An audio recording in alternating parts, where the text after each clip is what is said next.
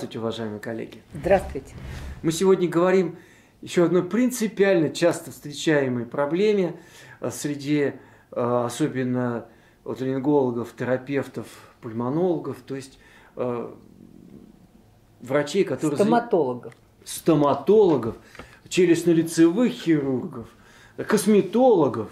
Мы говорим сегодня все-таки скорее о взрослой проблеме – мы говорим сегодня о кистах около носовых пазух. Галинка, давайте начнем разговор.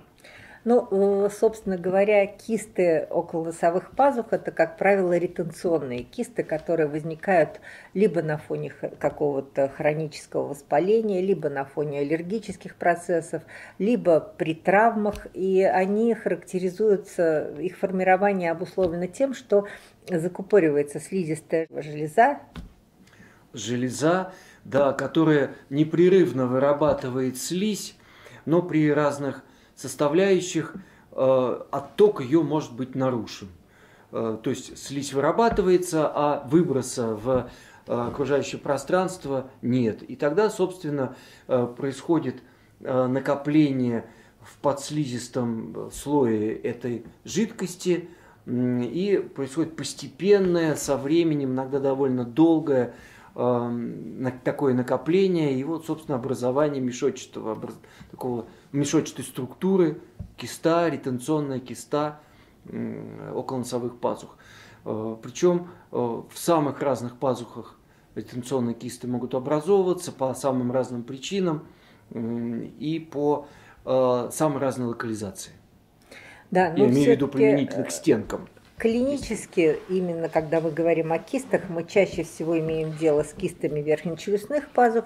И в верхнечелюстных пазухах есть еще особенность, там встречаются и адонтогенные кисты, э, лечением и наблюдением за которыми э, занимаются врачи, стоматологи и челюстно-лицевые хирурги. Да, мы такие кисты называем радикулярные кисты, да, и они имеют именно отношение к корневой системе зубов и, собственно, патология Э, зубочелюстной системы приводит к образованию этих кист. Это действительно удел э, стоматологов и челюстно-лицевых хирургов. Как правило, содержимое кисты – это слизистая отделяемая, слизистая субстанция, но, в принципе, кисты могут быть и гнойные, могут быть серозные, а описаны ситуации, когда кисты заполнены воздухом, так называемые пневматические кисты. Да, но в основном, во-первых, это редкая довольно ситуация, и она Э, в основном все-таки касается лобных пазух, друзья, когда развивается такое аэроцели э, именно в лобной пазухе. В верхнечелюстных пазухах такие кисты практически не встречаются. Кисты достаточно часто протекают бессимптомно и являются случайной находкой при проведении сначала МРТ, потом оториноларинголог э, просит выполнить э, компьютерную томографию для уточнения диагноза, выявляются бессимптомные кисты, но сам по себе диагноз очень пугает пациентов, и они буквально с вытаращенными глазами прибегают на прием к врачу и говорят, доктор, что делать, у меня киста. Хотя, друзья, еще раз хотел бы этот момент подчеркнуть, который сегодня уже звучал. Э, чаще всего это бессимптомное течение. Львиная доля кист это кисты, которые не имеют симптоматики, не имеют жалоб. Это, как правило, случайная находка. Э, очень часто это связано э, с тем, что пациент обследуется перед различными стоматологическими манипуляциями, лечением. И, э, офтальмологические. Офтальмологические да, операции и лечение.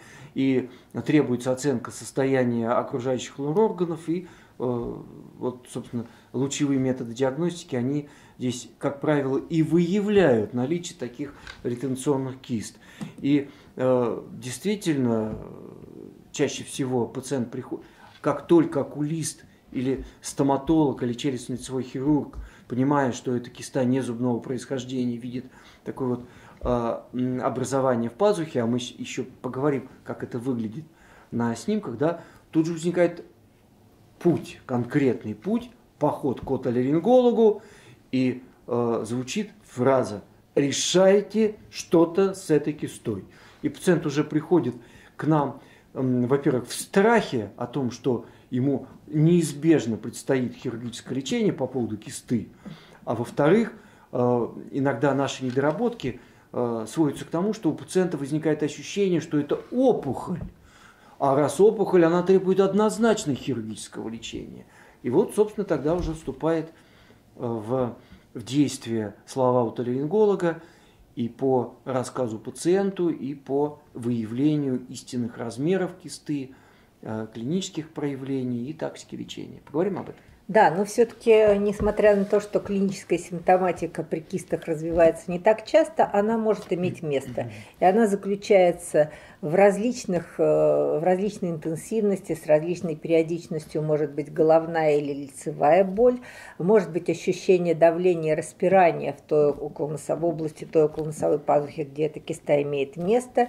Иногда эта боль отдает э, в верхние зубы, зубы верхней челюсти, иногда усиливается при жевании, при надавливании зубов верхней и нижней челюсти друг на друга. Вот такие вот усиления. Но ведь это встречается крайне редко. На самом деле. Да, но еще встречаются ситуации, когда боль возникает при полете в самолете, при наборе высоты, при снижении за счет изменения давления. Но действительно симптоматику кисты дают не так часто. И э, вот тут вот очень важно понять, нужно пациенту хирургическое лечение или нет, потому что иногда само хирургическое лечение может спровоцировать возникновение в послеоперационном периоде э, того или иного болевого синдрома. Но иногда мы сталкиваемся с такой ситуацией, коллеги, когда э, либо э, наши друзья челюстно-лицевые хирурги, э, стоматологи, либо окулисты э, вот очень требовательно в этой ситуации, говорят, они не возьмут на операцию по той или иной причине, если киста не будет удалена. Ну, с одной стороны, может быть, это правильно, потому что в редких ситуациях киста может нагнаиваться, как уже сегодня говорили мы, да, и это дополнительный риск при сопутствующей патологии, да, и иногда нам приходится идти на превентивное удаление а, таких образований, если вот такие ситуации, подобные ситуации возникают. Ну, или профессиональные какие-то. Иногда э, молодые люди поступают в летное училище, в военное училище, и тоже профотбор требует, э, врачи, которые проводят его, требуют э, удалить эту кисту. И она, иногда бывает еще ситуации, когда кисты становятся очень большими, они расти могут с разной скоростью. Так иногда э, пациенты приходят, если кисты, особенно двухсторонние, такое тоже бывает не так часто – но все-таки встречается, если киста занимает больший объем пазухи, то у пациента может возникать эм, э, чувство гнусавости, э, потому что я напоминаю, что э, одна из функций верхнечелюстных пазух, в том числе да и других пазух тоже, это резонаторы, верхние резонаторы. Если пазухи заполняются плюс тканью, пусть и такой несимптомной, бессимптомной, да, то вот чувство гнусавости может быть, чувство изменения голоса, может быть, это актеры, это э, лекторы, для которых э, собственный голос имеет принципиальное значение, то это тоже может быть показанием для хирургического лечения. Иногда эти кисты могут спонтанно лопнуть, и тогда у пациента из той или иной половины носа начинается истечение такой янтарной жидкости, которая на воздухе достаточно быстро э, застывает до студня. Как правило, этот процесс быстрый, но вот у меня была пациентка, у которой истечение порционно наблюдалось в течение недели небольшими порциями вот этой янтарной кистозной жидкости. Здесь, наверное, даже более важно предупредить пациентов, что такая ситуация возможна. Потому что если они об этом не знают, как это предупрежден, значит вооружен, да? Если они об этом не знают, то это их иногда приводит просто в панику. Они бегут к доктору, говорят, доктор, у меня мозги потекли из носа, эм, вот, вот такая ситуация. Мы объясняем, что ничего страшного, это может быть такое вот кратковременное опорожнение, э, кисты она опять может наполняться, опять опорожняться, и так, такая ситуация может повторяться. Но, к счастью, это не так часто. И еще один возможный, э, одно из возможных проявлений кисты, когда она становится очень большой, она может выпасть через средний носовой ход, через естественное соустье э, в общий носовой ход и вызвать назальную обструкцию. И вот уж тогда, друзья, однозначно хирургическое лечение, и опять-таки э, проводя эндоскопию полости носа или оценивая компьютерные данные, мы понимаем, что остается один шаг до такого выпадения кисты, и тогда эта киста превращается уже, собственно, как мы говорим, в антрахональный полип. Полип, который заполнил верхнюю челюстную пазуху, выпал в полость носа, он там получает большое пространство для э, своего роста. И вот размеры такого полипа уже иногда бывают просто глобальными. Вот у вас, Галина Николаевна, какой самый крупный полип – антрахональный, который вы удаляли? Ну, один из таких ярких еще, когда я только начинала работать, это полип, который... Ну, по размеру. Я не могу оценить его по размерам, но он э, выходил своими размерами за мягкое небо. Но у меня очень такой яркий по молодости тоже был случай. Часто мы это делаем эндоскопически, и это очень важно, друзья. Мы еще к этому вернемся, почему эндоскопия необходима, чтобы предотвратить рецидив э, такого, такой кисты и такого полипа. А когда не было эндоскопических систем, когда не были э, развиты эти современные способы функциональной ринохирургии, то был такой специальный крючок. Он и сейчас есть, крючок Ланги называется. И очень важно было э, ножку этого полипа зацепить, и просто ее оборвать. И тогда главная задача была вовремя подхватить такой полип, потому что он проваливался иногда в ротоглотку, и э, это иногда было довольно рискованно, потому что человек Э, если его опять же не предупредить, что нельзя в это время дышать, он может просто могла быть асфиксия. Так вот у меня по молодости был случай, когда я таким крючком э, ножку такого антрахонального полипа оборвал, э, он провалился, мы не успели его подхватить, и пациент его проглотил. Так вот, размер этого полипа, который мы его оценили, в целом он был больше куриного яйца. Хотя там больше чуть ли не до яблока иногда доходили такие размеры полип. Но самое приметное, э, пациент потом, это амбулаторная фактически операция в то время была. Пациент пришел и мне сказал, что я неделю есть не мог. Он настолько насытился этим полипом. Так что разные, иногда анекдотичные, слава богу, все обошлось. Ситуации встречались. Так вот, друзья, э, кисты, которые не имеют больших размеров, не имеют симптоматики, они требуют динамического наблюдения. И вовсе не каждая киста требует хирургического лечения. Вот это самый главный посыл, который для нас существует. И в каждом случае, в каждом отдельном случае э, мы оговариваем это с каждым конкретным пациентом. А ведь как иногда, у нас ведь были такие случаи, когда доктор э, объясняет маме, э, да вы что, у вашего ребенка киста. Он говорит, доктор, ну надо ли оперировать-то? Вы что, не понимаете, что у вашего ребенка киста? И, и вот сиди и думай, что надо оперировать. И мама в панике говорит, скорее давайте удалять, раз это киста.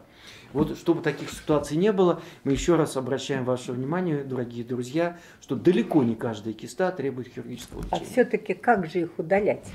Да? Делать а... под губой дырку, как это делают раньше. хирурги. Или раньше вот лингологи исключительно, опять когда я пришел в ординатуру, мы только таким способом удаляли киску. Господи, какой вы старый, я... Древний, я бы сказал.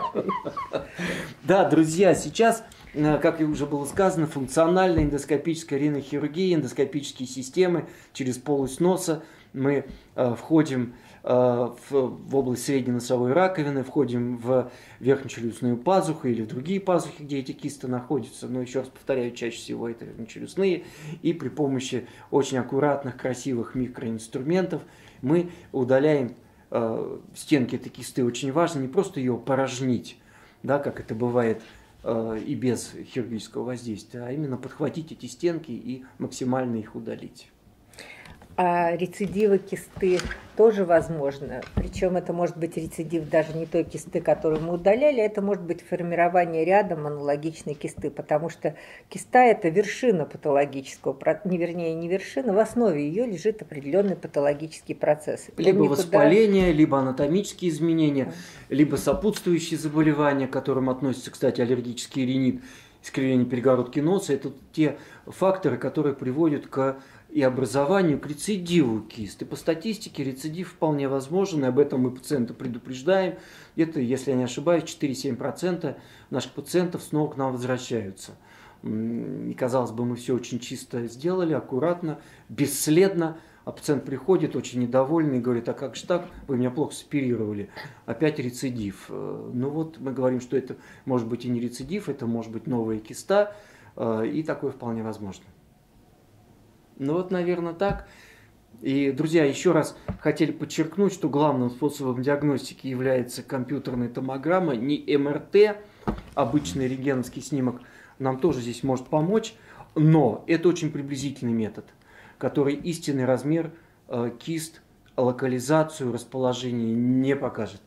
Э, так же, как и магниторезонансная томография. Поэтому компьютерная томограмма ставит точки над «и» и определяет во многом и размер, и показания к тактике ведения пациентов. Так что киста пазухи – это не приговор в плане хирургии. И это в плане всех остальных и моментов. в плане всех остальных моментов. Ну вот, наверное, так, друзья. Э, в очередной раз благодарим вам, вас за внимание. До новых встреч. До свидания. Будьте здоровы. Будьте здоровы, коллеги.